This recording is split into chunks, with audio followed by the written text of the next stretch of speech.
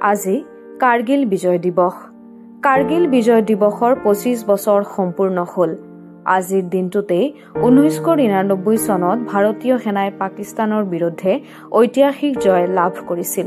মাতৃভূমি ৰক্ষাৰ বাবে ভাৰতৰ পাঁচশ সাতাইছগৰাকী বীৰ জোৱান শ্বহীদ হয়।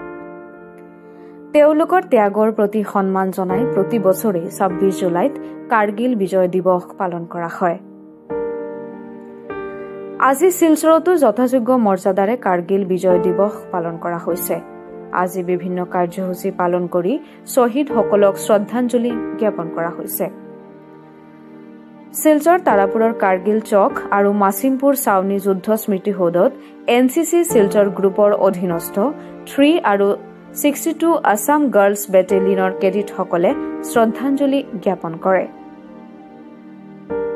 G C college Cachar college আৰু অসম বিশ্ববিদ্যালয়ৰ জ্যেষ্ঠ কেডিটসকলে গাৰ্ড অফ অনাৰ প্ৰদান কৰে। মাছিমপুৰ কে ভি স্কুলৰ জুনিয়ৰ ডিভিজন কেডিটেও উপস্থিত থাকে।